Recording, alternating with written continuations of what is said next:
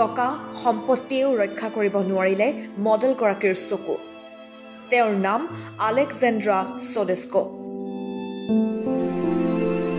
বিশ্বখ্যাত দেখাত ভয়ানক ৰেপাৰ পপেকক অনুসৰণ কৰিবলৈ গৈ মডেলগৰাকী হৈ পৰিল অন্ধ। নাভূত নাশ্ৰুত আৰু ভয়ানক ষ্টাইল কৰিবলৈ গৈ হেৰুৱাই পেলালে দৃষ্টিশক্তি। এই মোহময়ী মডেলগৰাকী এতিয়া অন্ধ। এইগৰাকী আলেকজেণ্ড্ৰা চাওক এওঁৰ চকুজুৰি। এই চকুজুৰিত তেওঁ অংকন কৰিব বিচাৰিছিল টেটু চকুৰ মণিৰ বগা অংশ কলা কৰাৰ বাবে আঁকিব খুজিছিল টেটু কিন্তু এয়াই তেওঁৰ বাবে হৈ পৰিছিল এটা ডাঙৰ ভুল। টেটু শিল্পীৰ ভুলৰ বাবে চকুৰে নেদেখা হৈ পৰিছিল আলেকজেণ্ড্ৰা। চকুৰ মণিৰ বগা অংশত কলা চিয়াহী ইনজেক্ট কৰাৰ সময়তে চকুৰে নেদেখা হৈ পৰে আলেকজেণ্ড্ৰা।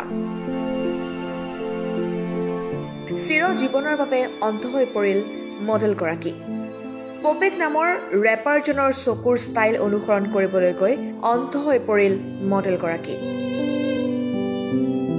প্ৰকৃততে টেটু শিল্পীগৰাকীৰ মাৰাত্মক এটা ভুলৰ বাবেই অন্ধ হৈ পৰিল আলেকজেণ্ড্ৰা। News Desk, Time 8.